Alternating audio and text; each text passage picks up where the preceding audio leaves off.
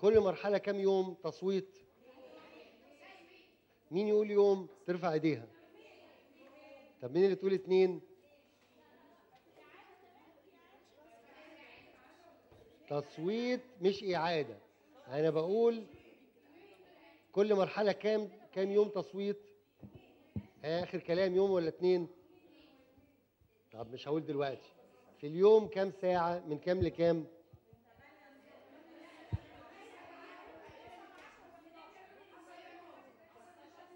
بتبدأ إمتى؟ طب كام واحد مندوب يكونوا في اللجنة؟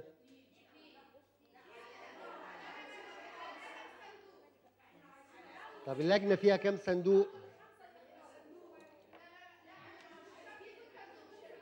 طيب ناخدها من الأول بقى. ناخدها من الأول واحدة واحدة. بص يا أستاذات عشان نبدأ القصة الإجراءات بقى كده دلوقتي. يا أستاذة يا أستاذة خلي خليكي معايا علشان دي إجراءات إحنا دلوقتي هندخل في إجراءات العملية الانتخابية. وهقف عند المحطات الثلاثه الرئيسية وكل محطة كل محطة هقول كده تلكسات ولو في حاجة مش واضحة وقفوني عندها. أول مرحلة بناخد خط عند هيئة الناخبين. بعدها محدش بيدخل هيئة الناخبين بعد كده ولا بيتحط اسمه ناخب. الخط ده حد زمني. يبدأ إمتى؟ اللي لا يجوز بعده تغيير أو إضافة أي حد للكشوف اللي اسمها قاعدة بيانات الناخبين إمتى.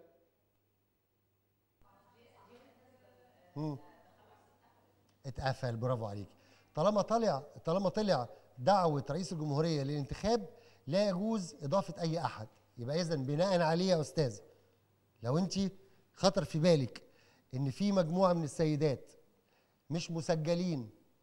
وعاوزه تدخليهم ويروحوا يقيدوا نفسهم مفيش قيد دلوقتي. القيد تلقائي أوتوماتيك بالرقم القومي هتاخديهم وتروحي تشوفي أسمائهم في الكشوف. ما لقيتيش أسمائهم موجودة. هتقولي هنزلهم يبقى بتضيعي وقتك. مش هيضاف أي حد للكشف. طيب بفرض لقيتي مجموعة من السيدات في أحد القرى أو مناطق في دايرتك وما عندهمش رقم قومي أصلا. يعني مش ظاهرين في القواعد. وتعاطفوا معاكي وجبت لهم ميكروباصات وجبت لهم ورق. ودلوقتي في الأمم المتحدة عاملة استمارات مع المجلس القومي للمراه أظن عاملة استمارات تسجيل رقم قومي ببلاش للسيدات. السيدات الفقيرة اللي ظروفها ما تسمحش يعني. وخدتي مجموعة من الناس عشان تطلعي لها رقم قومي. هل ينفعوا يبقوا ناخبين؟ يدوكي أصوات؟ مظبوط. ولكن أعمل بيهم إيه؟ مفيش هنا بقى شطارة المرأة المرأة المصرية بالذات اللي مفيش فتفوتة تطلع من تحت إيديها من غير ما تستفيد بيها. طب عندك مجموعة من السيدات معهمش رقم قومي طلعت لهم رقم قومي. مش هينفعوكي كناخبين بس ينفعوكي كفريق حملة. ينفعوكي من خلال يجيبوا أهاليهم وأسرهم إجوازهم ولادهم. أطفال اطفال مدارس ينفعوكي في الحملة الانتخابية؟ معاهم أصوات؟ أهو كده. أهو كده. الطفل بيجيب أبوه وبيجيب أهله. والمناطق والمناطق المغلقة تدخلي لها زي ما بنقول كده الهوا ملوش حواجز. تدخلي لها على جناح الهوا.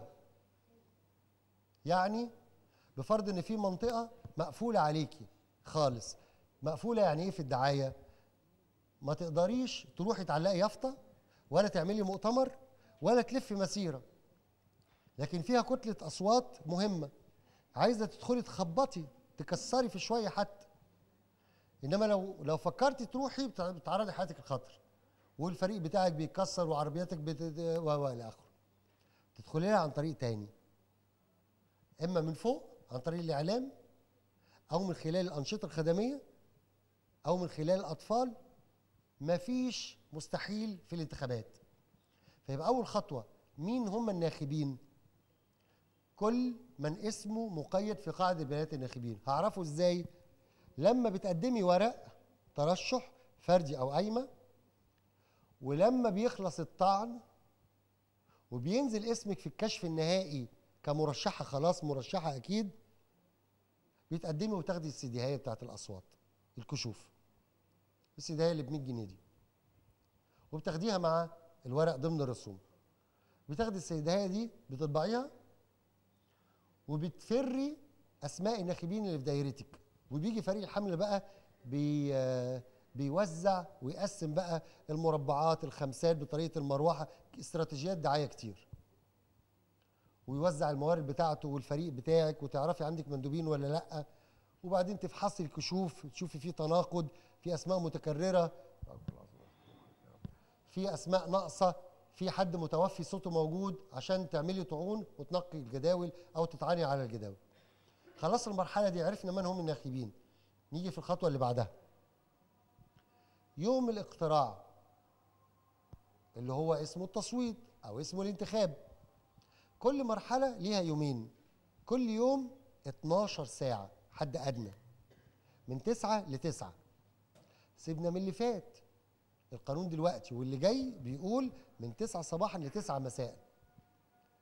ل 9 مساء يعني لو اللجنة مهوية ما فيهاش ولا نفر جه تفضل فاتحة لغاية 9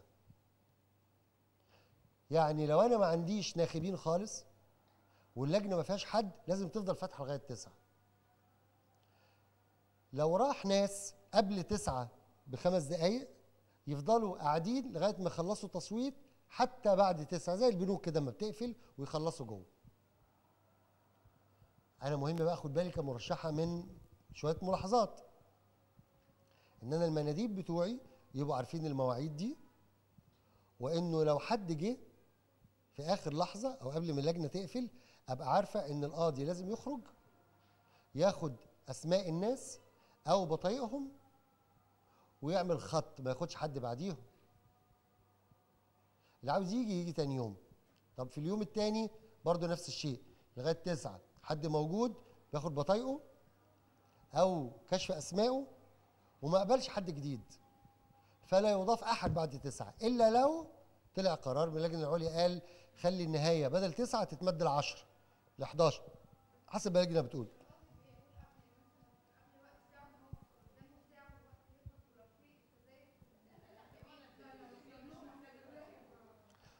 بص القاضي بيشتغل على التعليمات اللي جات له قبل ما يستلم وهو بياخد الظرف. التعليمات بتقول له القانون بيقول له من 9 ل 9 خلاص؟ لو اللجنة مدت وما عرفتش تختاره هيعرف منين إن اللجنة مدت للساعة 10 قاعد في مدرسة كذا في في السيل في الحكروب بعيد خالص. أو في الوادي. في مدرسة بعيدة خالص ما يعرفش ما عندوش تليفونات ما جالوش موبايل قافل موبايل ما عندوش حد أختاره اللجنه مدت ل 10 القانون بيقول له 9 بيقفل 9 عشان كده أنا أكون مصحصحة بالفريق بتاعي أقول له آدي الإعلان أهو أو آدي على الجرايد أهو أو آدي من النت أهو بيقول قرر المستشار كذا كذا كذا مش متأكد اتصل بيهم. طيب خلص الميعاد واتقفل. بيحصل فرز. أنا في الفرز بقى أبقى عارفة الصوت يبطل إمتى. كل ناخب قدامه صندوقين يعني بياخد استمارتين. استمارة فيها رصة أسماء بيختار منهم اتنين فقط. دي استمارة الفردي. في الدايرة الفردي بينجح اتنين فقط.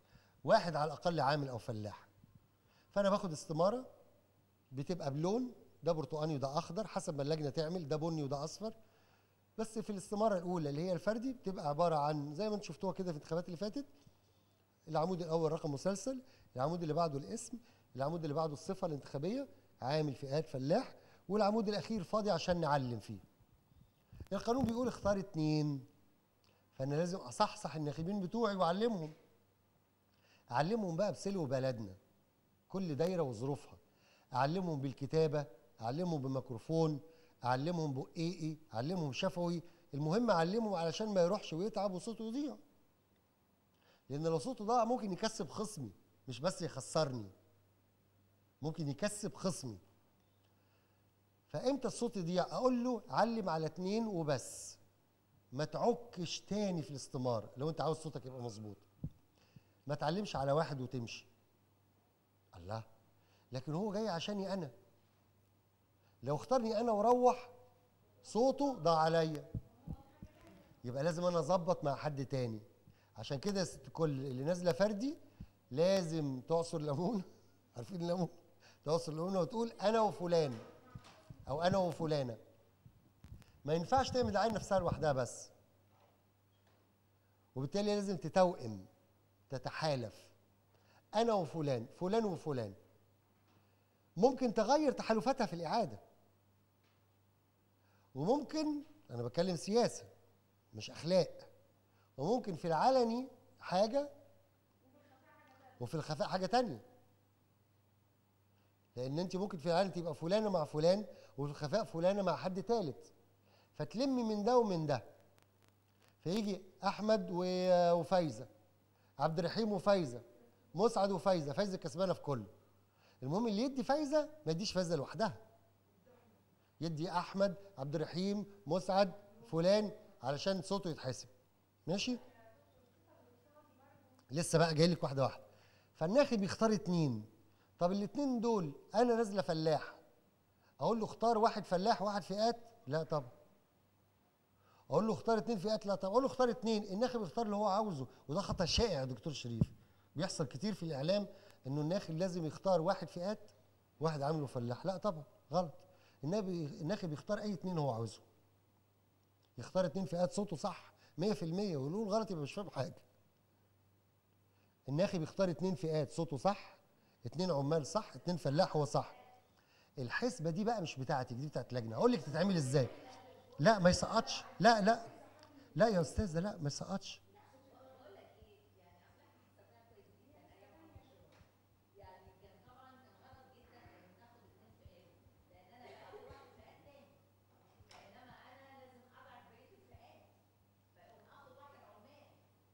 لا مدير الحملة لا لا.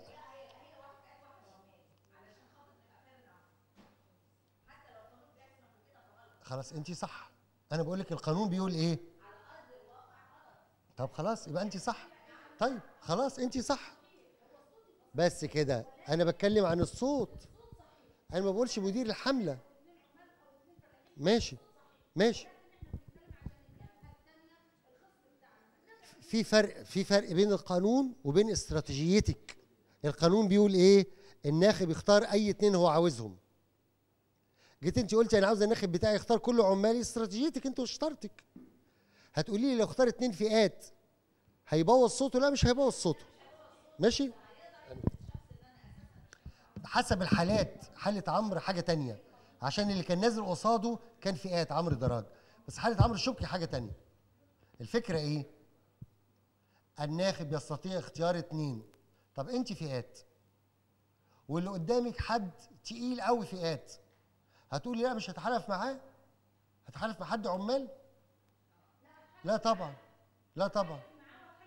أهو كده أهو كده. لأن أنت ما تعرفيش الناخب هيختار مين. لو هو تقيل وقال فلان وفلانة والاثنين فئات وراحوا ألف صوت الدايرة كلها 6000 ناخد 6000 كمثال. وفي واحد فئات أرضيته مالي إيده قوي من 2000 صوت. حلو كده؟ وانت مالي إيدك من 1000 صوت. وحد تاني فئات عنده 1000 صوت. وحد تالت عمال عنده 2000 وحد رابع فلاح عنده 1000 إجمالي الستة دول. انت هتاخدي الصوت بصوتين في الحقيقة. الناخب له صوتين. هي استمارة واحدة لكن كأنه له صوتين. انت هتاخدي نص ده ونص ده ونص ده. فانت هتبقي أعلى الفئات. فانت ممكن تاخدي من كل الفئات تتحالفي مع الفئات عشان تاخدي فئات عشان تتجاوزيهم كلهم. لأن إحنا ثلاثة فئات. وانت الرابعة. انت خدتي نصي ونص جنبي ونص اللي جنبي. فأصبحت انت معاكي ضعف أي حد فينا. اتفضل.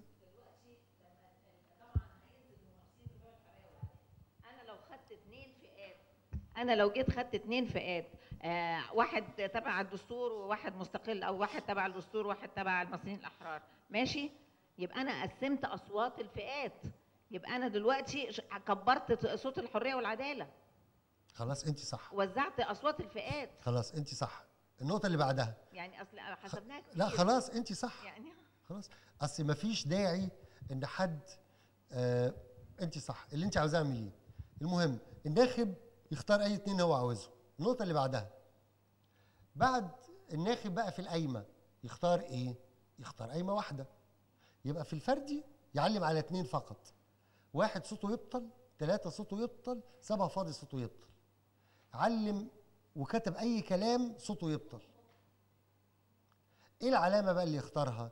الناخب يعمل صح وصح أو شرطة وشرطة أو إكس وإكس كل ده مظبوط. مفيش مانع. تمام؟ الحاجة الوحيدة اللي تبطل الصوت إنه يبصم. ما ينفعش يبصم عند الاثنين اللي هو اختاره.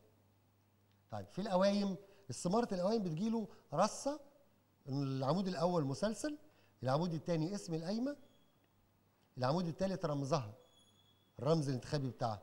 العمود الرابع خانة فاضية اللي انت بتعلمي فيه. الناخب مطلوب ان هو يعلم عند قايمة واحدة بس ولا أكتر ولا أقل. لو فاضية تبطل لو اتنين يبطل لو كتب أي كلام يبطل. ماشي؟ وبيطبق الاستمارة على وشها. ويحطها في الصندوق. انت في الفرز لو لقيت استمارة مش متطبقة يبقى دي قرينة مادية للتزوير لأنها مش هتدخل من البق بتاع الصندوق أصلا. وهي مفتوحة مش هتدخل. يبقى معنى كده إن هي ما قعدتش في الصندوق إلا لما الغطا اتفتح واتحطت. اتنين لو متطبقة على ظهرها يعني الصوت مكشوف يبقى ده يا إما خطأ من الناخب وخلاص هو حطه والموظف ما خدش باله أو إنه تقدري تشككي فيه تقولي دي مطبقة على وشها. تقدري تشككي فيه. إنما القاضي هنا اللي يفصل. بتتقلب الصناديق وبتتفرز بيتم استبعاد الأصوات الباطلة على جنب وبعدين الأصوات الصحيحة بتتجمع في الفردي معروف الحزب حسب الاسم في الجدول بتاع التفريغ. اللي أكيد اللي منكم خد انتخابات بيبقى عارف الجدول. اللي ما اللي لسه أول مرة بيبقى عندها جدول بترصد فيه بطريقة العصيان بتعد الأصوات وفي النهاية بياخد كشف صورة من الكشف بتاع اللجنة عشان تطابق اللي عندها زي اللي جالها أو في فروق وبعدين تقدر تطعن لو حبت اعادة فرز. القاضي بتاع اللجنة العامة كلمة لجنة ليها أربع مستويات في مصر. لجنة يعني فصل دي أصغر حاجة اللي إحنا بندخل بنصوت فيه. الفصل ده على الأقل لازم يبقى فيه صندوقين واحد فردي وواحد قوايم في القانون لما تعدل في 2011 قال إنه ممكن أضم ثلاث لجان مع بعض يعني ست صناديق ثلاثة وثلاثه في فصل واحد.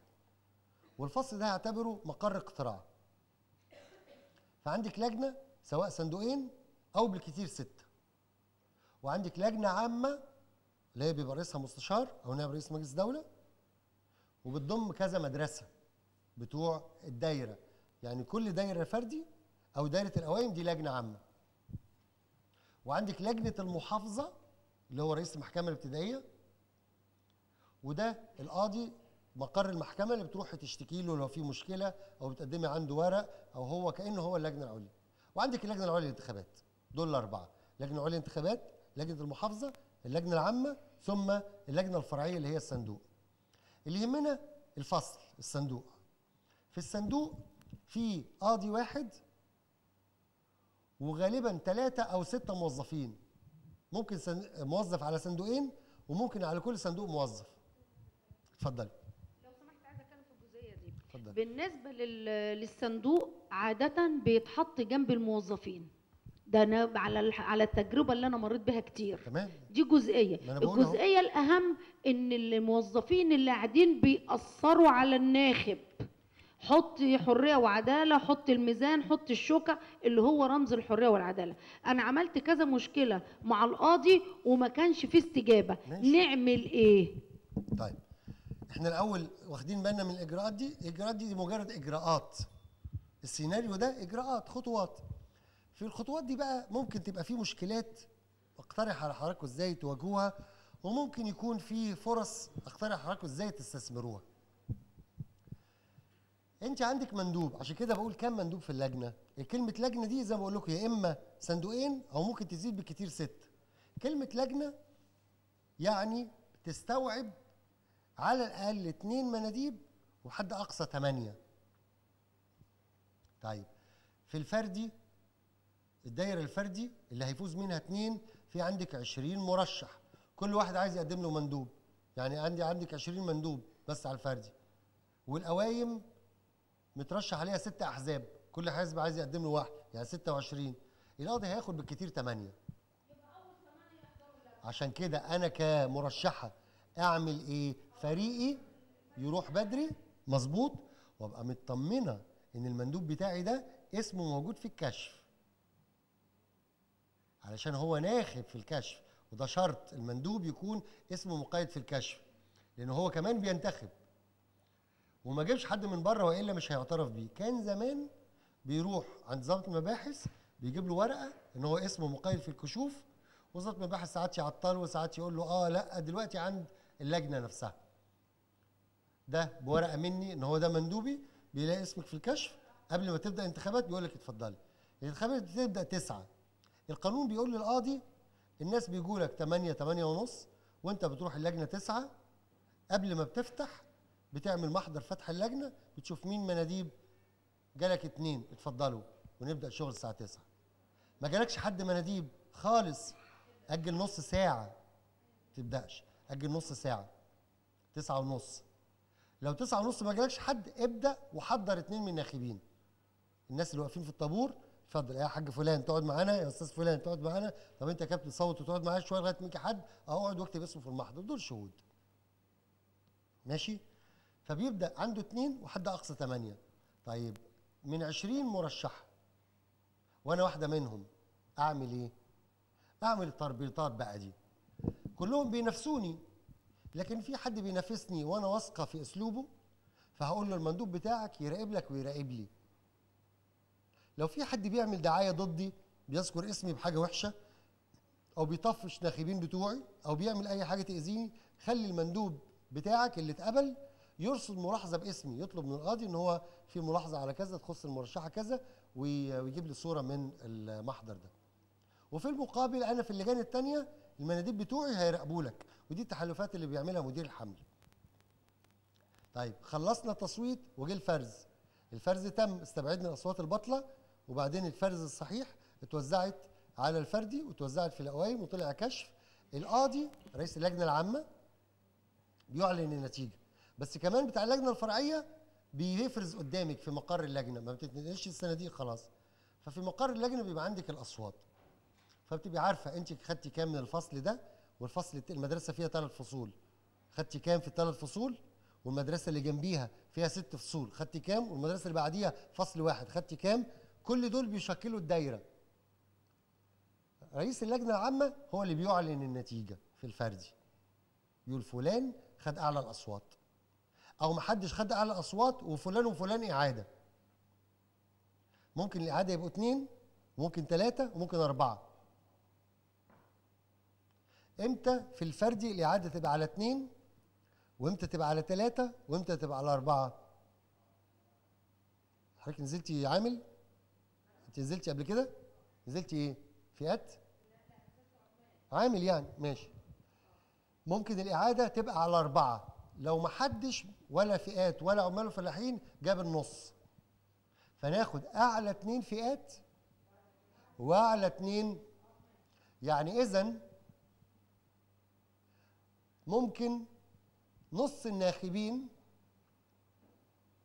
يدوا لاتنين فئات والنص التاني من الناخبين يدي واحد فئات وواحد عمال.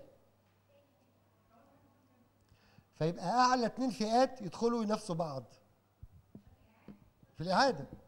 آه. آه. لكن ده بيبقى صعب في الفردي دلوقتي. هي حالات قليلة. عمرو حمزة أظن اللي كسب من أول مرة.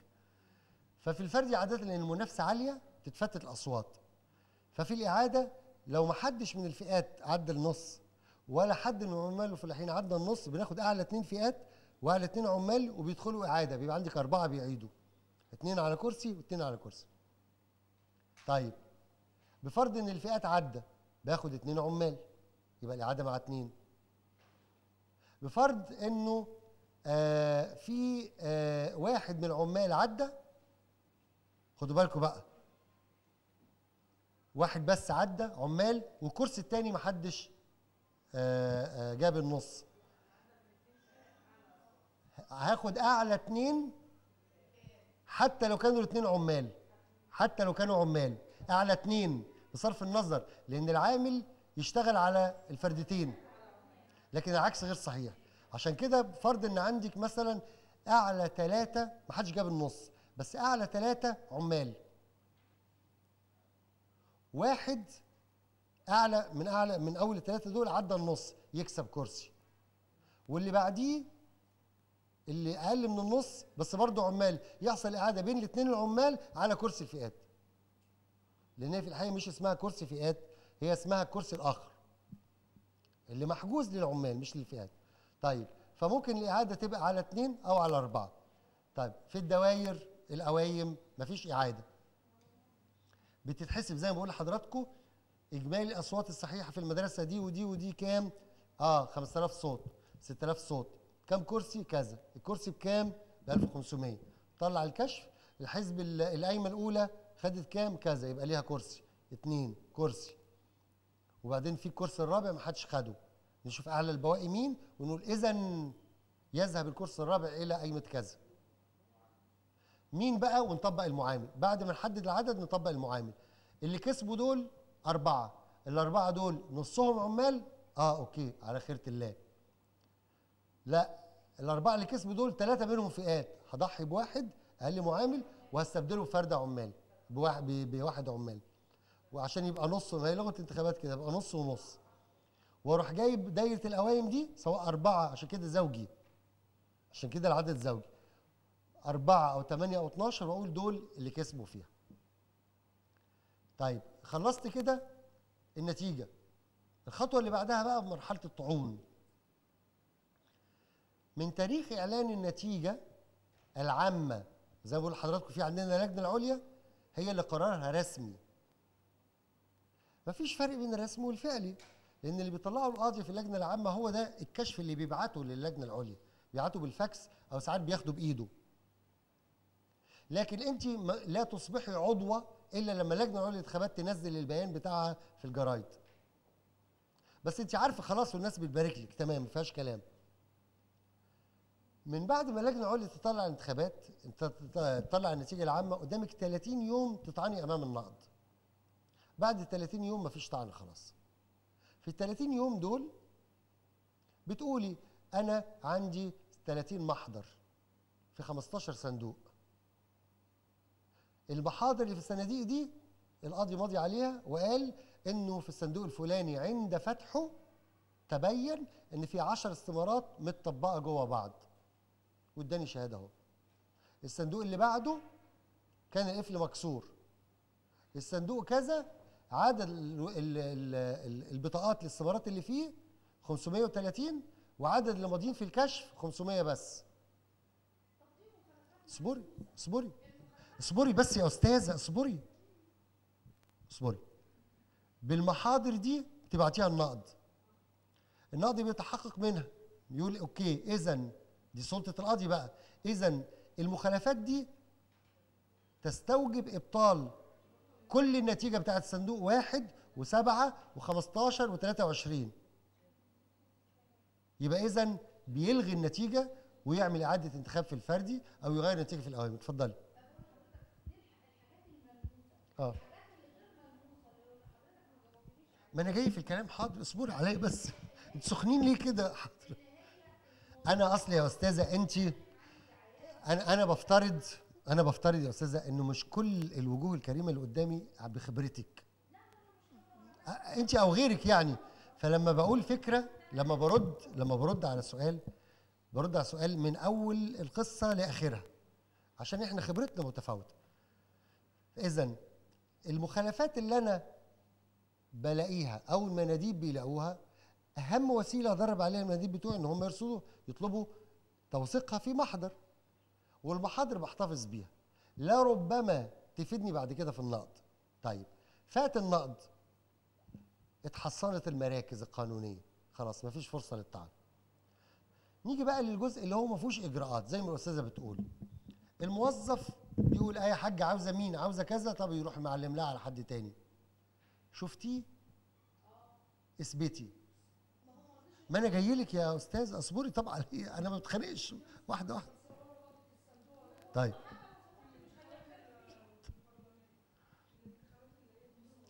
أنت شفتي وبالتالي بتطلبي من القاضي يديكي صورة. طيب. القاضي رفض. وبيحصل. بتعملي إيه؟ ما ده اللي عشان كده بقول لكم في لجان. بتروحي رايحة رئيس اللجنة العامة. أنا شفت كذا. يا إما ياخدك ويثبت كذا الواقعة ويديكي نسخة من المحضر تروحي بيها عند النقضي أو هو نفسه يتدخل ويوقف أو هو نفسه يغير القاضي. خلاص ماشي أنا ما طيب ماشي ما بيحصل. أنا بقول لك الإجراءات حاضر. ما ينفعش رئيس اللجنة العامة بتروحي لجنة المحافظة ده رئيس محكمة. ما ينفعش لجنة المحافظة نروح اللجنه العليا. ما أنا لا أملك ان أقول لك كده مفيش غير كده. كل الوسائل دي مش فعالة طبعا مش فعالة ساعات وفعالة ساعات. بتعملي بقى إيه؟ أنا رأيي الإعلام. قبل ما تروح القضية الإعلام. الإعلام بيشكل قوة ضاغطة. عشان كده موضوع تقارير المراقبين رغم إنه مش هو اللي بيغير نتيجة الانتخاب إلا إنه بيشكل قوة ضاغطة. طب أنا أعمل إيه؟ هل في حد محصن من المشكلات دي؟ لا طبعا. كلنا معرضين لمشكلات لكن دي عركة. فعلا عركة والعركة نتائجها مش واضحة مقدما ومحدش عنده أدواته اللي بت- اللي ضامن إنها بتحميه. كلنا معرضين للخدوش والتجريح والمشاكل. عشان كده الأفضل إن أنا أستعد في أفضل حالاتي. حالاتي يعني المناديب بتوعي. فريق يكون فاهم ويكون مدرب وبقدر الإمكان يكون مصحصح وينسق بقى. ويبعت بالتليفون وعندك محامي أو أكثر ويلف على اللجان وبالضغط شوية بالأسلوب الكويس شوية آه، بالإعلام بال- بالتوثيق بحاجات زي كده. لكن هل كل ده منع المخالفات في الدستور الأول والثاني والرئاسة والشعب والشورى؟ لا طبعا ما منعش. لكن أنا بقول إيه الإجراءات المتاحة أو الأدوات اللي تحت إيدينا؟ طلعنا كده النتيجة وخلصنا فترة النقد أصبح العضو أو العضوة في ولاية المجلس. هل في سيد قراره آه لا زال سيد قراره موجود. بعد ال 30 يوم دول؟ لا موجود. بعد ال 30 يوم بتوع الطاعون تنقطع ولاية محكمة النقد. بيرجع الأمر تاني ملك للمجلس. يعني لو عضو كان ناجح قايمه حزب وخرج من حزبه مش الحزب اللي خرجه خرج من حزبه بمزاجه وما طلعش عليه قرار بأغلبية التلتين هيفضل العضو زي ما هو. المحكمة ولايتها فقط 30 يوم.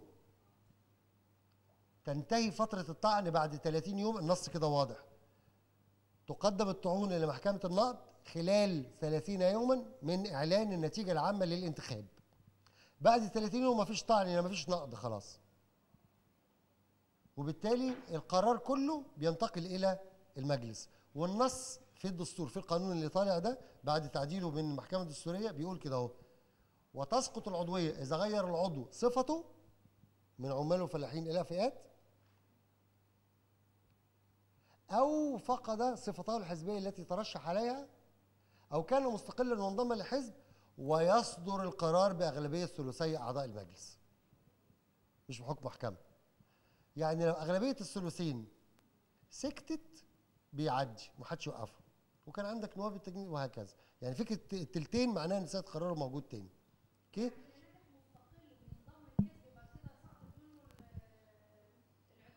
حسب إمتى غير. لو خلال 30 يوم بعد ما نجح إمتى؟ عندك 30 يوم. لو خلال ال 30 يوم يروح محكمة النقد تشطب فورا قرارها ملزم. لو بعد ال 30 يوم القرار في إيد المجلس. يا آه يا لا. آه يسقط العضوية لو جاب أغلبية تلتين أعضاء المجلس. 546 على 3 في 2 يعني 364 عضو يوافقوا على إسقاط عضويتك عشان تسقط. 364 عضو يقولوا الأستاذة فلانة اللي نجحت عامل وتحول نجحت حزب وتركته وانضمت مستقله تسقط عضويتها. 364 موافقة موافقة. تسقط العضوية. لو ما وقفش 364 ضدك ما حدش هيطلعك من المجلس ولا رئيس الجمهورية. لو بعد ال 30 يوم. اتفضل يا فندم. الدكتور علي بس هو برضه أنا عايز أعذر. الأفاضل لأن واضح الدستور أول مرة الدكتور علي يشرحه للناس. بوضوح كده في مسألة الانتخابات وهو بيشرحه إحنا شايفين ديفوهات كتيرة قوي حصلت يعني النهارده لما اتكلمنا على إسقاط العضوية بعد 30 يوم يبقى من المجلس مش من محكمة النقض فده ده ديفو كبير ممكن يكون محطوط لهدف سياسي معين لنصرة فريق سياسي وحزب معين أو فصيل معين. وحاجات كتيرة من اللي قالها. الدكتور علي. تمام. ماشي؟ بتتقال إن في غرض وراها ورا زي موضوع الرقابة السابقة واللاحقه بتاعت المحكمة الدستورية اللي إحنا بنعيشها اليومين دول. تمام. إزاي ما فيش رقابة لاحقه برضو دي مشكلة جامدة إحنا. فهو يعني الدكتور علي في كلامه هو بيقول لكم اللي حاصل. مظبوط. في ديفوهات؟ آه في ديفوهات. ديفوهات جامدة في ديفوهات جامدة. بس أنتوا وافقتوا في الاستفتاء على الكلام ده. فهو بيوضح اللي موجود. الشعب تمام. وافق. حاجة تمام. و50% وافق. تمام. تمام. طيب أنا طولت عليكم كده يا أستاذات وأرجو ما أكونش تقلت أكتر من اللازم. لو في أي ملاحظات أو استفسارات مش عاوز قوي أعقد الموضوع في إجراءات وتفاصيل أكتر من كده بس لو في حاجة آه، غامضة أو استفسار تحت أمركم. اتفضلي اتفضلي اتفضلي. آه تمام. هو الأستاذة قالت نقطة مهمة قوي. هقول لحضرتك. آه ده سؤال وجيه. الأستاذة قالت إمتى نعرف إن اللي قدامي ده قاضي؟ الدستور قال اللي جاية دي بس بالذات تحت إشراف اللجنة العليا. اللجنة العليا بيرأسها رئيس استئناف القاهرة المستشار سمير أبو معاطي. اللجنة العليا دي بتضم قضاة وأعضاء هيئات قضائية. كلمة قضاة قلنا يعني قاضي جالس. القاضي الجالس ده يعني في محكمة. اللي في محكمة يا إما قضاء عادي اللي بنشوفه في المحاكم يا إما قضاء مجلس الدولة أو من هيئات قضائية زي هيئة قضايا الدولة والنيابة الإدارية. في الحالتين طالما بيشتغلوا في الانتخابات بياخدوا badge وال badge ده بيقول ألف في درجات مجلس الدولة أو درجات القضاء زي درجات كده نقابة المهندسين أو الجامعة في أستاذ أستاذ مستشار مندوب وهكذا. بياخد بياخد badge بيتقال له كذا. لكن أغلب الناس ما بيحطوهوش. اللي بيحصل إيه؟ إنك بتقولي له أو المندوب بتاعك لو هو ما حضرش فتح اللجنة وهو بيحضر فتح اللجنة بيقول أنا فلان فلاني حضرنا وحضر معانا فلان وفلان وفلان. لو أنت شاك إنه قاضي هو بيطلع لك الكارنيه وبيطلب الكارنيه. بعد كده خلال اليوم أنت عارفة إنه قاضي. اللي ممكن يشاغب أو بحسن نيه أو بسوء نيه هو الناخب. لكن أنت كمرشحة بتعرفي انه قاضي لما اللجنة بتتفتح. هيفرق معاكي إيه بقى؟ إن هو من النيابة الإدارية أو من مجلس الدولة مستشار ولا رئيس محكمة ولا مندوب لسه مساعد يا دوب لسه خريج صغير اتعين في مجلس الدولة. مش هيفرق معاكي حاجة خالص. لأن القانون بيقول رئيس اللجنة الفرعية ده هو رئيس جمهورية اللجنة. تصوروا بقى. ودي من الأمور كويس ان حضرتك فكرتني بيها دي من الأمور اللي ناخد بالنا منها لا يستطيع أحد اتخاذ أي قرار في اللجنة إلا بموافقة رئيس اللجنة دي مثلا الإعلام عنده رخصة الدخول لكن لو جه القاضي قال له يا أستاذة أنت جايب الكاميرا. وأنت صحفية كذا لا استني شوية بعد خمس دقائق تيجي أنا من حقي لا من حقك ده انت رخصة مش مش فرض. أنا شايف اللجنة زحمه وما تجيش دلوقتي خلاص ده قراره ومش. ودي مش مخالفة. أو لو جه لقى الدنيا هيصة وخايف على الصندوق فقال نأجل شوية الانتخابات نص ساعة برضه حق. بس حقك انت انك تاخدي آه، محضر بإنه وقف اللجنة نص ساعة. مش علشان يزودها بعد تسعة تبقى تسعة ونص عشان تثبتي إنه وقف اللجنة وعاوزة تعرفي الصندوق كان في حوزة مين في النص ساعة؟ لو في النص ساعة دي التعبير القانوني اسمه إيه؟ انت غلت يدك عن الصندوق في نص ساعة. يعني هو قال نص ساعة اتفضلوا والمناديب اخوانا اتفضلوا استاذات بره وكله اتفضل لغاية ما الدنيا تهدى وقعد جوه هو الموظفين وقفل الباب من جوه. نص ساعة. وجه بعد نص ساعة قال اتفضلوا. لا يا حبيبي. اديني بقى محضر إن اتقفلت نص ساعة وأنا مش شايفه ولا في مناديب وبده نفسه القاضي في النقض يبطل الصندوق كله. لأن حصل نص ساعة ما تعرفيش اللي حصل فيهم إيه. لأنه لما بيكون يومين يا أستاذة في نهاية اليوم الأول بيتشمع الصندوق في حضور المناديب وبيتحط جوه الأوضة وبتتقفل الأوضة في حضور المناديب وبيمشوا. تاني يوم ما بيفتحش إلا في حضور المناديب. هي القفل مظبوط شمع مظبوط فتح الأوضة. الصندوق مظبوط كله تمام امضوا انكم لقيتوا الصناديق بحالتها. بيمضوا لأنه في عهدة حد آخر مش انت. فبتعرفي إن هو قاضي في بداية فتح اللجنة وسواء آه، من هيئة قضايا الدولة أو النيابة الإدارية أو المحكمة أو القاضي العادي عادة بنقول له يا إما سياده المستشار أو سياده المستشارة أو الأستاذة فلانة أو الاستاذ فلان. وفي سيدات كتير في في في القضاء دلوقتي. آه وإحنا بنعتبر انه رئيس اللجنة ده آه سند ليا مش عليا. لانكم ممكن تطلبوا منه بالسطرين اللي بيكتبهم رئيس اللجنة هم اللي بيعتد بيهم. يعني لو لقيته مثلا آه أي انتهاك وهو تفهم وقال طيب هديكي محضر إن فلان اعتدى عليكي أو فلان بيحط دعاية ما بيسمعش كلام تقدري تاخدي شهادته دي الورق المحضر بتاعه ده النموذج عندهم نماذج مطبوعة جاهزة. وده يسندك جدا في النقد.